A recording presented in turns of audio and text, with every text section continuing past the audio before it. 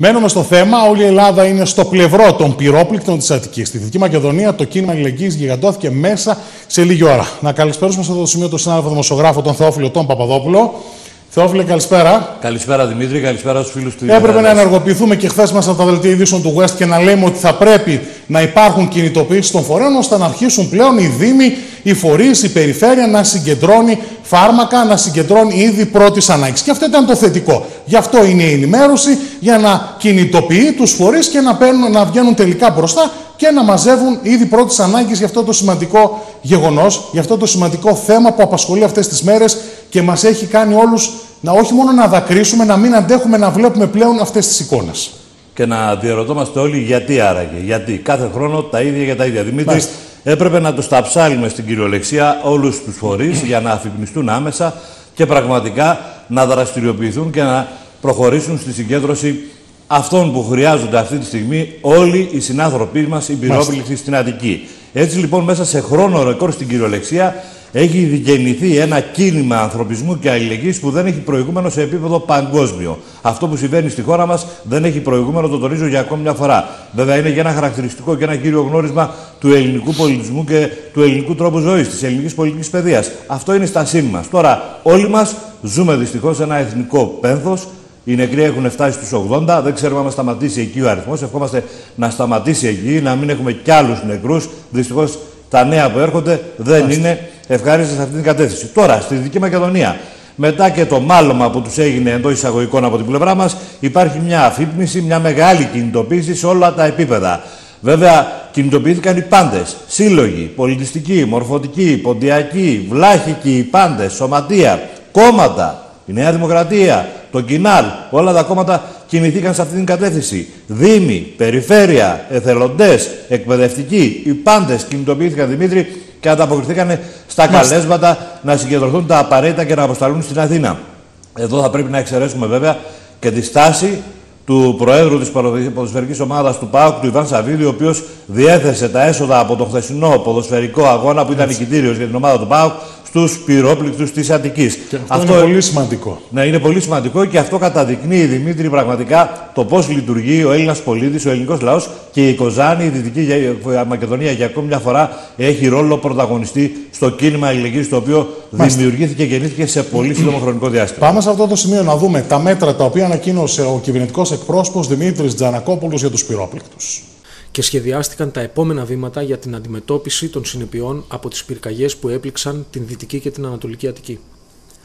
Μεταξύ άλλων, εγκρίθηκε η πίστοση ύψους 20 εκατομμυρίων ευρώ από το Υπουργείο Οικονομίας σε ειδικό λογαριασμό του Υπουργείου Εσωτερικών για την αντιμετώπιση των άμεσων αναγκών των Δήμων που έχουν πληγεί αλλά και των πολιτών τους.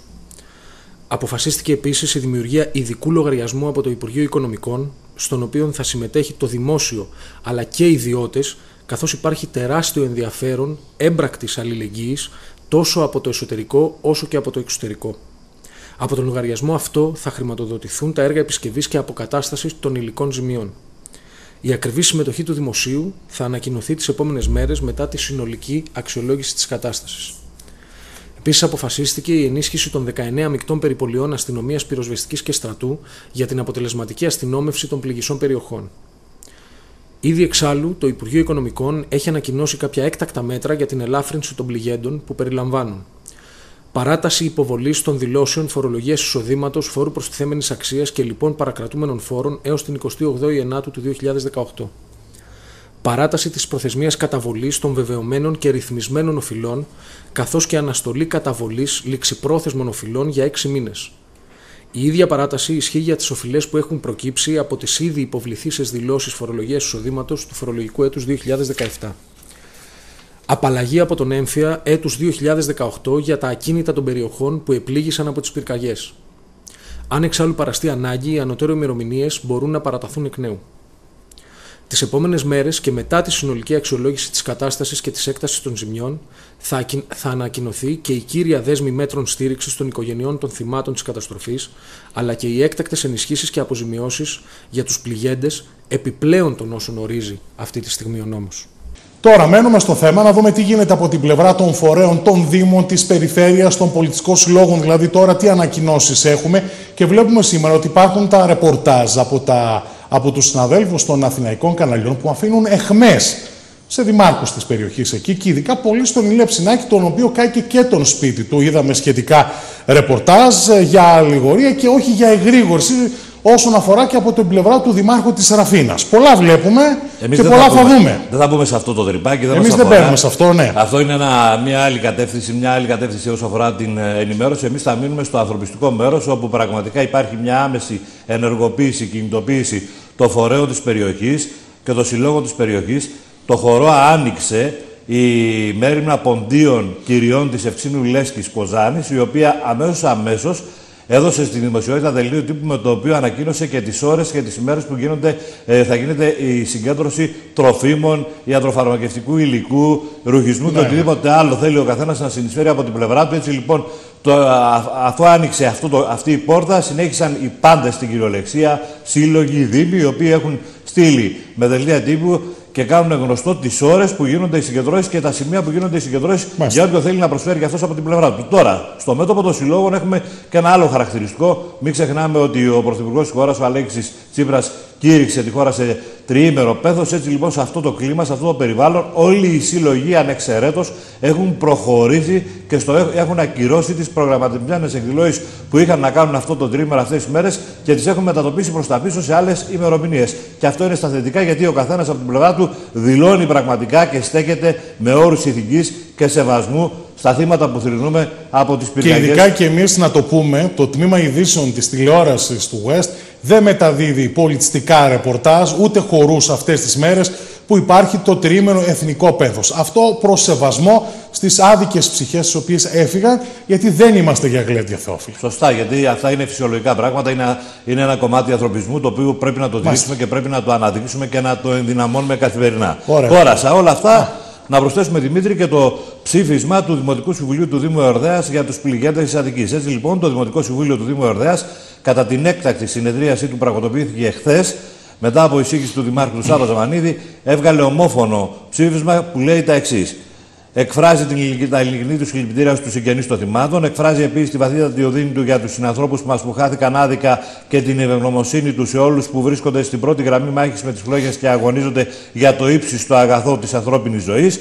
Είναι ανάγκη υποστήριξη και υλοποίηση του σχεδίου γρήγορης αποκατάστασης των ζημιών, το οποίο πρέπει να εκπονηθεί και να υλοποιηθεί με ψυχραιμία, αλληλεγγύη, ενότητα και νυφαλιότητα. Και τέλος, με σύστητε θα κυματίζουν τι ημέρε του Δημαρχιακού Καταστήματος και παράλληλα προγραμματίστηκε στο πλαίσιο της ανθρώπινης αλληλεγγύης η αποστολή ανθρωπιστικής βοήθειας σε συνεργασία με την Περιφέρεια και τους συλλογικούς φορείς του Δήμου. Νομίζουμε ότι. Με σύστητη είναι και η στο Δημαρχείο της Μπράβο, παρόμοια θα είναι και οι λειτουργίες και οι διαδικασίες όλων των Δήμων της Δυτικής Μακεδονίας αλλά και της Περιφερειακής Αρχής. Τώρα, να μείνουμε και σε μια είδηση που μου ήρθε πριν από λίγο με ανακοίνωση που εξέδωσε και μέσω του Προέδρου της, του Γιώργου του Πατούλη. Γίνεται παράκληση προς τον κόσμο που έχει προστρέξει με κάθε δυνατό δρόμο να βοηθήσει τους πυρόπληκτους να διακοπεί συγκέντρωση τροφίμων νερών και ρουχισμού. Είναι συγκινητική προσφορά των συμπολιτών για τους πληγέντες και μετά από έκκληση είναι του Δημάρχου Ραφίνας. Ε, θέλουμε, λέει, εθελοντές και γιατί υπάρχει υπερπροσφορά και είναι αδύνατη η διαχείριση του όγκου των ε, τροφίμων. Ε, αυτή είναι η ανακοίνωση της ΚΕΔΕ. Μένει να δούμε λίγο το πώς θα διαχειριστούν όλα αυτά τις επόμενες ημέρε. Και αυτό είναι μια πραγματικότητα. Έτσι. Επειδή υπάρχει άμεση ανταπόκριση, τα πράγματα που πηγαίνουν στην Αττική είναι πάρα πολλά και θα πρέπει κάποιοι να βοηθήσουν σε αυτήν την κατεύθυνση για να γίνει, για να τα διανέμουν κανονικότητα και να μην υπάρχουν προβλήματα και συνοστισμός. Πάμε σε αυτό το σημείο τώρα να δούμε τι δήλωσαν όσον αφορά τα γεγονότα οι δήμαρχοι Πρεσπών και Δεσκάτης, Παναγιώτης Πασκαλίδης και Δημήτρης Καραστέριος.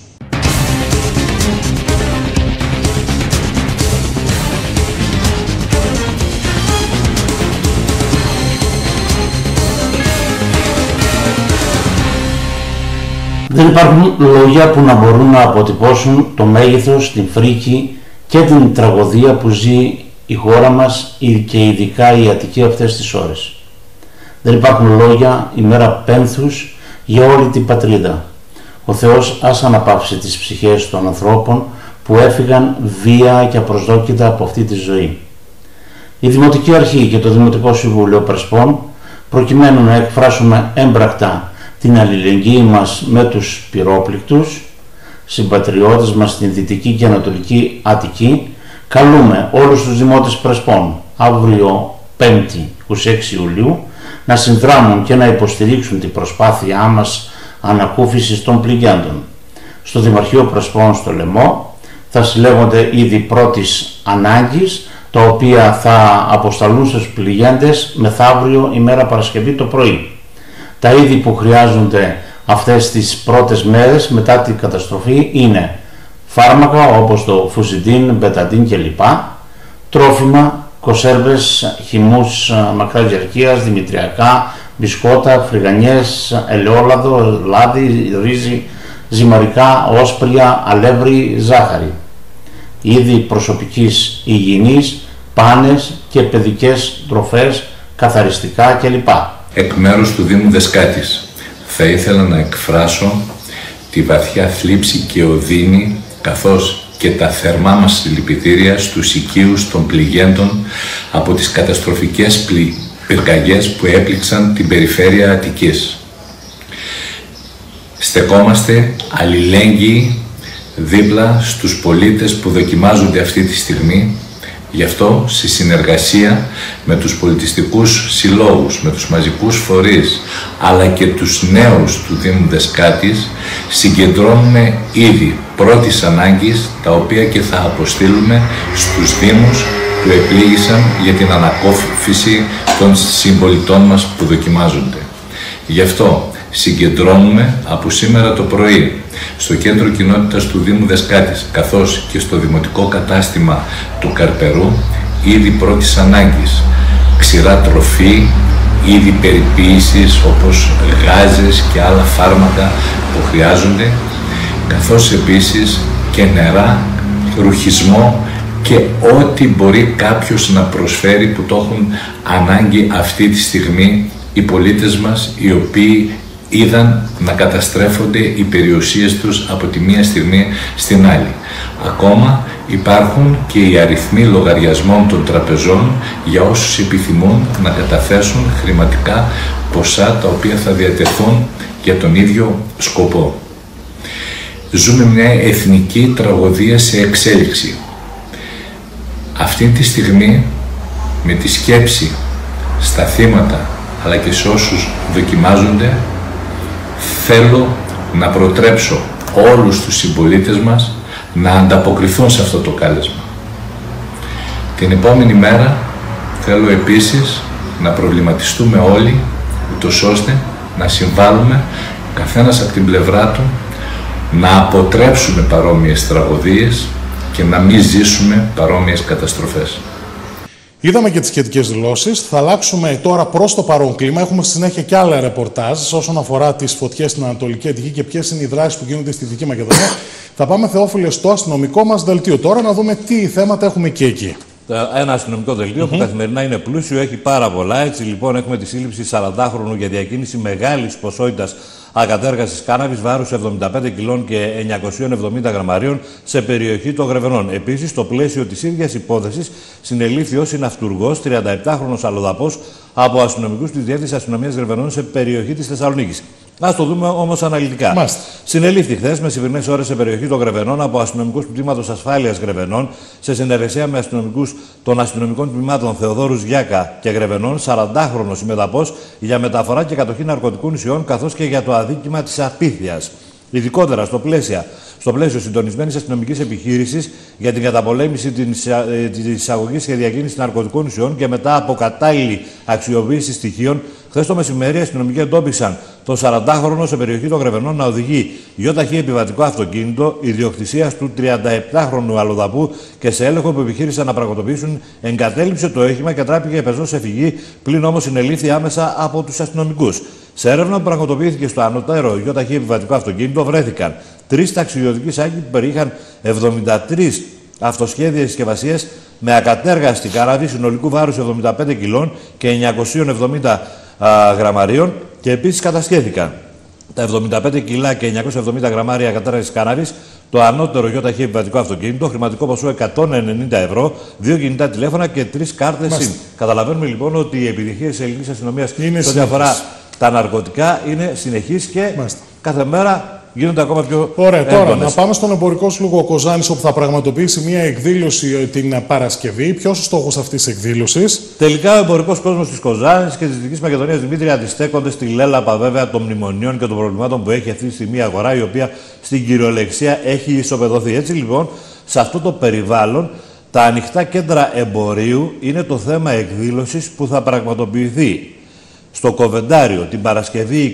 27 Ιουλίου στις 9 το βράδυ και είναι μια εκδήλωση την οποία διοργανώνει ο Εμπορικός Σύλλογος Κοζάνης σε συνεργασία με το Δήμο Κοζάνης. Τώρα, τι προσπαθεί να επιτευχθεί μέσα σε αυτή τη διαδικασία, το σίγουρο είναι ότι θα αξιοποιηθούν κάποια ευρωπαϊκά προγράμματα τα οποία τρέχουν και είναι σε εξέλιξη και προσπαθεί ο εμπορικός κόσμος μέσα σε αυτή τη διαδικασία, μέσα από αυτή την αξιοποίηση, να αυτό να πάρει και μια ανάσα και να αρχίζει να κινείται κάτι προς μια θετική και μόνο κατεύθυνση.